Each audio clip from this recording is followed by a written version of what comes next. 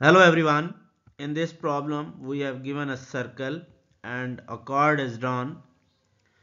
If P is the center of this circle and a line PQ is drawn which is touching the chord.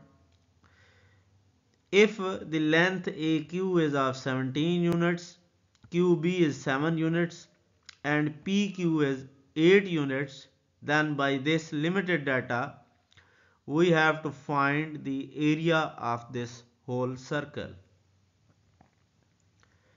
Let we move towards the solution and we will deal this problem in two different ways. Uh, let we deal with the first method. We draw a line segment from point P which is perpendicular to the chord AB and meets the chord AB at point C, we know that if a line segment is drawn from the center of the circle and it is perpendicular to the chord then it divides the chord into two equal parts. It means AC is equal to CB.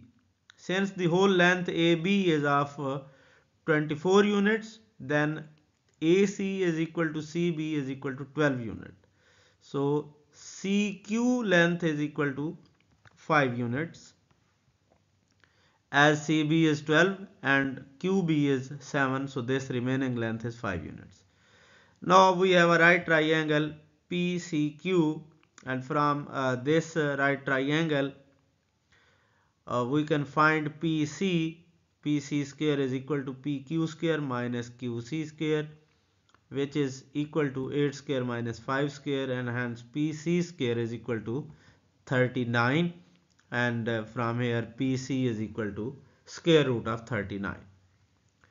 Now we draw another line segment from point P to A which is actually the radius of a circle. Here we have another right triangle PCA from this right triangle PCA we have uh, uh, using Pythagorean theorem we have PA square is equal to PC square plus CA square. So substituting the value of PC and CA PC square is 39 and CA square is equal to 144 since CA is 12 units. So we have r square. Pa is actually r. R square is equal to 183 and uh, we know that area of a circle is equal to pi r square. And if we substitute the value of r square then definitely we will get area of circle is equal to 183 pi square units. Now let we move towards the second method. Uh, this is much easier way to deal the problem we just extend this line segment PQ this uh, red segment is actually the radius of the circle and uh, we also extend in this side. This line which is passing through the center this whole line is the diameter of the circle. And from this line segment this black plus this blue line uh, red line segment this is whole length is 8 this length is uh, whole length is radius of the circle this length is 8 so this length must be r minus 8 and similarly this whole length will be r plus 8 now we have a chord intersecting theorem.